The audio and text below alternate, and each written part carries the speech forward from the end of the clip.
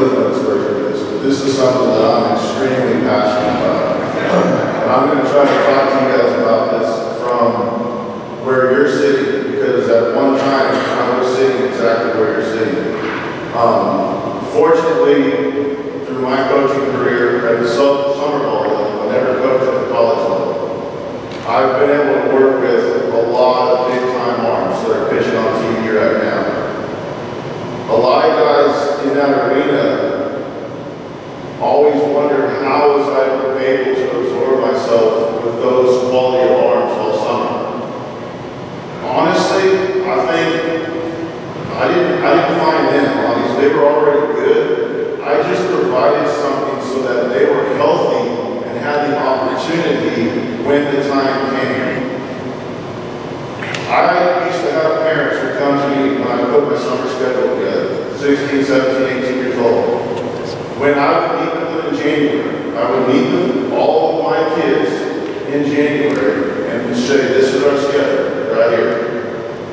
If you want to play in an area code event or a perfect game event or any of those other avenues besides my schedule, find another team that's going to let you do that. This isn't the team for you. Because if they're throwing two innings at this event, and then I get them back, and then I'm, they're throwing, uh, they're supposed to start for me on Friday, I have no idea that they're throwing another inning on Tuesday, how does that work? See what I'm saying? These guys and myself, we're gonna go wherever they are. It doesn't matter where it's at. If they're a guy, we're gonna go. If Ryan calls me, if Owen calls me and says, hey, you need to see this arm, all right, where's he throwing next?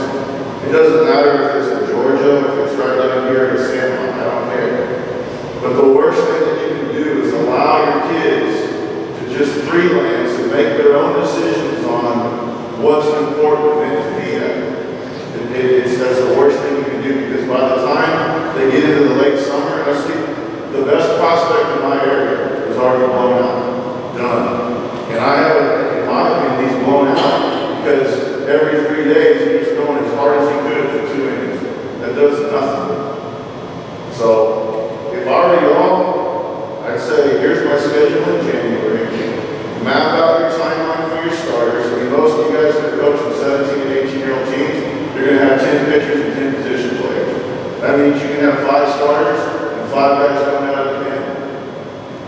Now again, like they said, it's different. If you got a guy that's barely breaking glass, throwing 72, heck, he can throw 110 pitches and he's not hurt. But the guy that's breathing fire out of his nose, throwing 95, and falling in the first base dugout, that guy,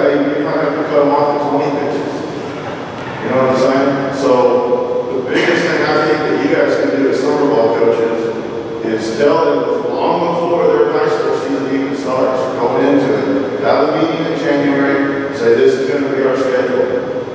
And if you want to run all over the country playing all these other events that doesn't coincide with this schedule, this isn't the team for you. Because all you're doing is setting up the blowout.